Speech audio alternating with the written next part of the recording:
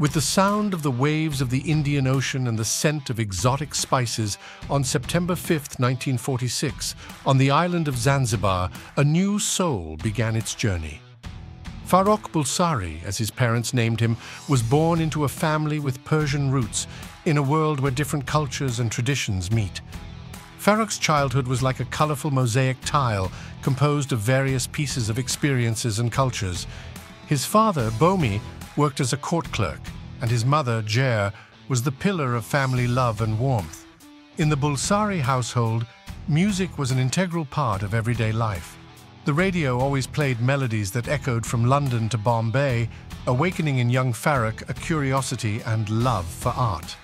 At the age of eight, Farrokh was sent to a boarding school in Panchgani, India. Far from home in a land of contrasts, young Farrokh found refuge in music. He learned to play the piano and participated in school performances, where his talent for music and attention to detail began to emerge. It was a time of innocent dreams and the first spark that would later ignite the fire of his musical passion. When he returned to Zanzibar, the world around Farrokh was changing. Political changes and unrest marked this period. In search of stability and better opportunities, the Bulsari family decided to move to England, to the heart of London, where Farrokh's star would begin to shine brightly. In London, amidst the fog and rain, Farrokh found a new world of opportunities. His life in England began in the 60s, an era of cultural turmoil and musical revolution. He enrolled at Ealing Art College, where he studied art and design. In this creative environment, Farrokh became Freddie, a young man who explored his identity and passion through drawings and designs. Freddie didn't just draw, music lived in him, his fascination with rock and roll and blues and idols like Jimi Hendrix and Led Zeppelin shaped his musical vision. Participating in various bands, such as Wreckage and Sour Milk Sea, was more than a hobby. It was his destiny. London, the 1960s. The city was a vibrant tapestry of sounds, colours and culture, a scene of youthful revolution and musical rebirth. In this burgeoning world, Freddie Mercury, once Farrokh Bulsari, walked the streets, absorbing every note and every lyric that echoed around him. At Ealing Art College, Freddie's creativity bloomed in full splendor. His hands created more than drawings and designs. They created worlds where he could be free.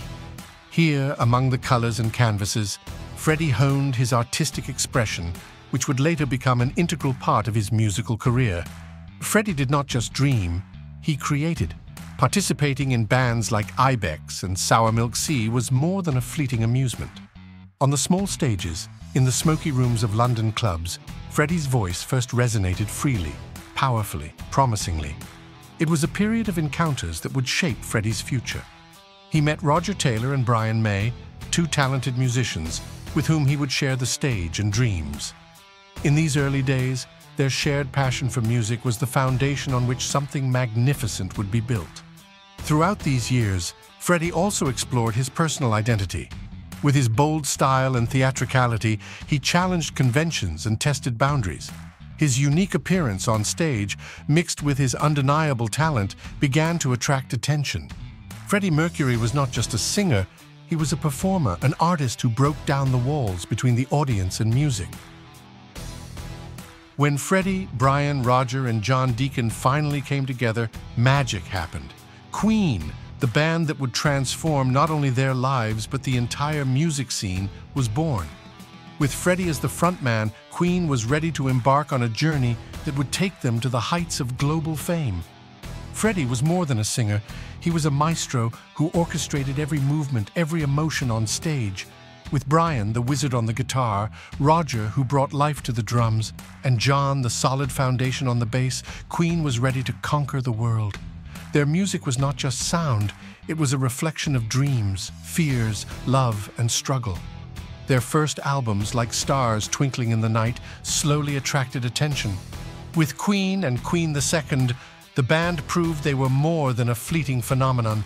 It was in sheer heart attack and a night at the opera where Freddie's voice, full of drama and power, intertwined with the virtuosity of the other band members, creating something that transcended the ordinary. Bohemian Rhapsody, A six-minute symphony was more than a song. It was a bold journey through various musical styles, from opera to hard rock. Freddie, with his unmistakable vision, took the band and the audience on a journey that would be remembered for generations. Every Queen performance was a spectacle, theatrical and full of energy. Freddie on stage was like a wizard, transforming reality with his voice and movements. His clothing, often lavish and extravagant, was part of his performance, an expression of art that transcended the boundaries of music. The rise of Queen was not just the ascent of a band, it was the rise of the idea that music could be more than sounds. It could be a story, it could be a revolution, it could be a bridge connecting hearts and minds.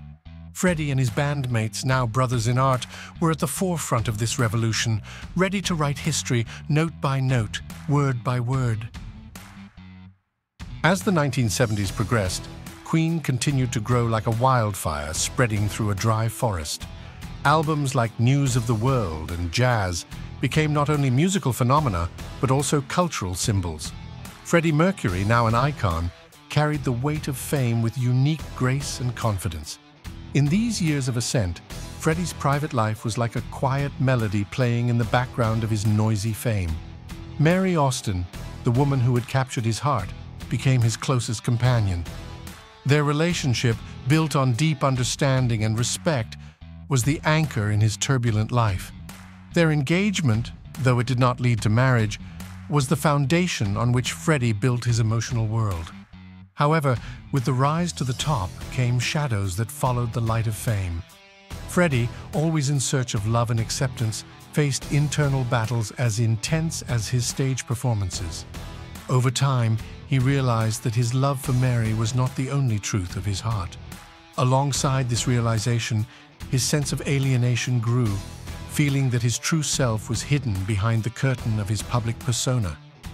Finally, with the courage that defined his entire life, Freddie acknowledged his truth. He was homosexual. This admission, though liberating for him, brought new challenges. The 1970s and 1980s were times when homosexuality was still a taboo topic, and Freddie found himself in the center of public and media attention.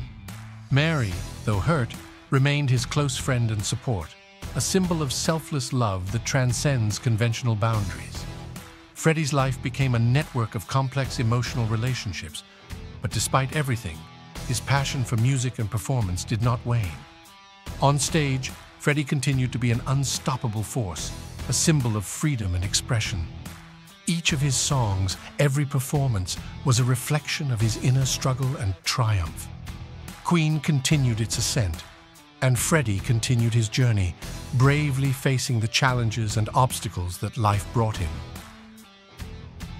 In the 80s, as the world pulsed with the rhythms of a new era, Freddie Mercury and Queen reached the pinnacle of their fame. It was a period when each of their songs, every album, was like a stellar burst in the endless galaxy of music. In this decade, Freddie was not just a singer, he was an icon, a symbol of resistance against conventions, a maestro leading an orchestra of emotions and melodies. The brightest moment of this era occurred in 1985 at the Live Aid concert. Wembley Stadium, filled with crowds yearning for music, became a temple where Freddie performed his greatest miracle. With every movement, every note, he hypnotized the audience, turning the concert into something that transcended an ordinary event. It was a performance that defined an entire generation, a moment when Queen showed that music has the power to unite the world. But while Freddie was invincible on stage, his private life was filled with struggle and challenges.